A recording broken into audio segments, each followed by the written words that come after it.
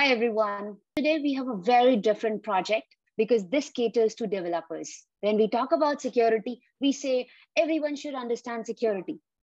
But we don't have anything which can explain to developers that there is a security that exists and um, they should take help from.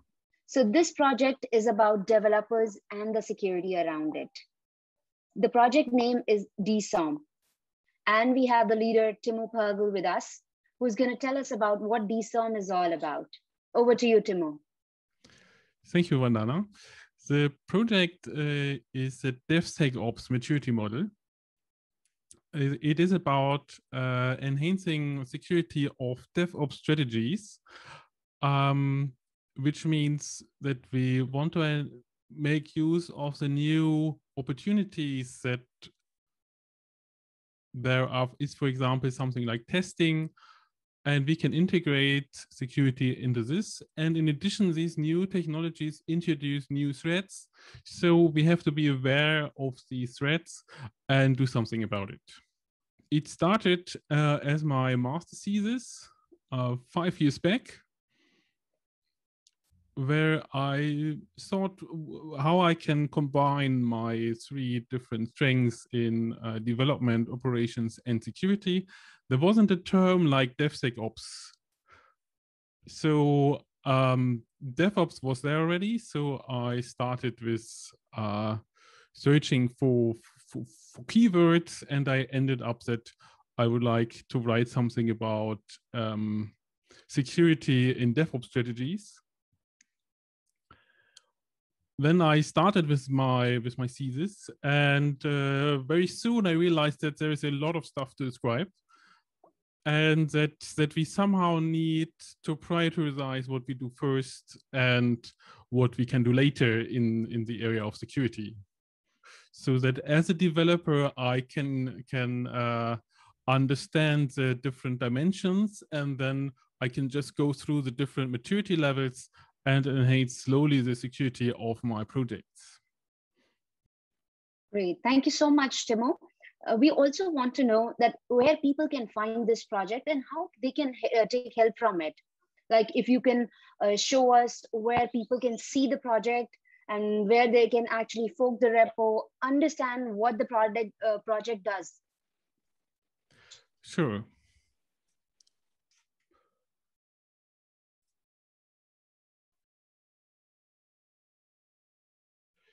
Yes we have this uh, the US page or on this page, you get an introduction for whom it is uh, in, in overview um, and the links to, to the model and the GitHub repository.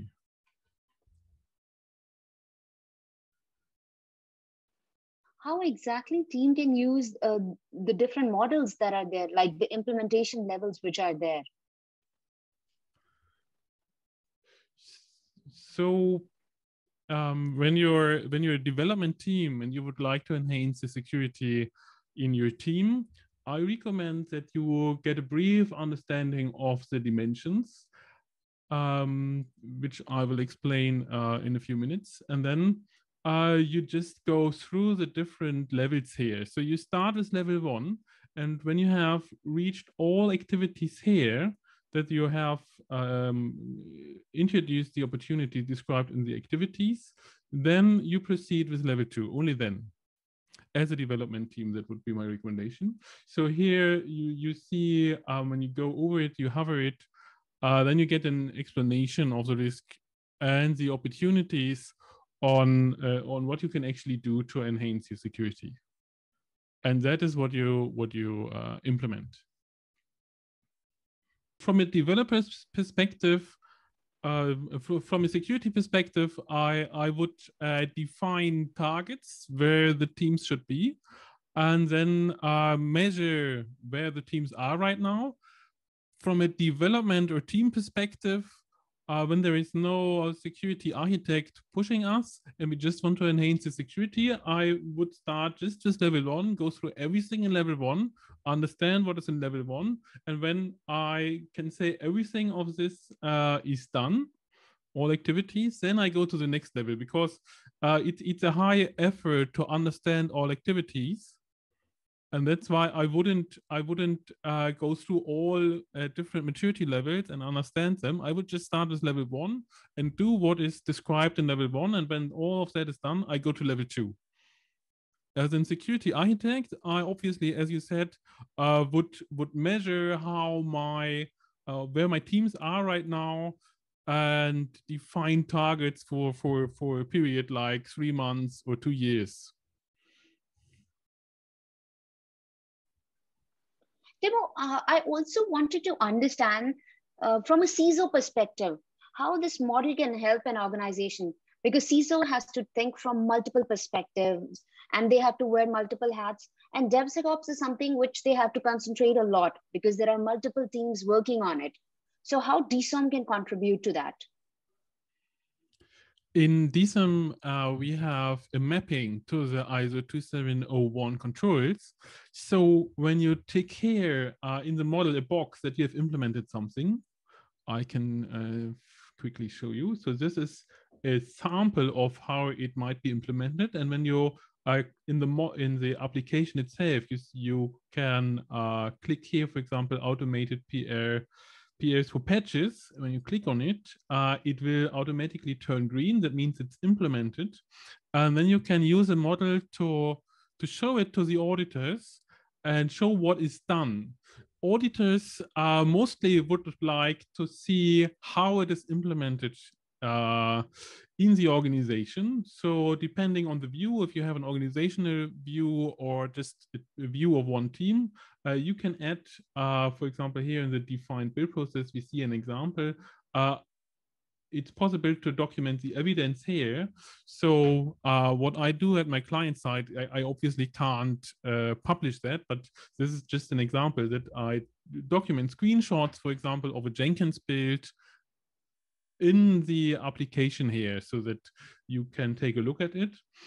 Um, we are also working on an Excel export so that you can uh, export it in a way that you have all the uh, ISOs uh, or ISO dimensions and next to it all the activities in there. Uh, that is something we're working on right now. And in case you want to um, want to give a, a lot of documentation to the auditors, we have the option here to go on full report, uh, where you can say you would like only to have the uh, performed activities. And now all activities will get exported, including the evidence, and you can simply print it and hand out the PDF to an auditor. They will have thousands of pages to read. How exactly people can contribute to this project? Like once they understand that okay this is a maturity model we have and we have few more learnings based on our experience that we had. So how exactly they can contribute to the project?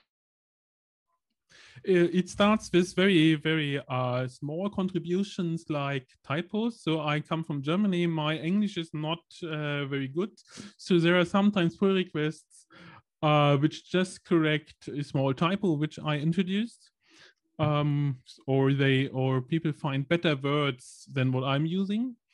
Uh, we also have contributions mapping to other models.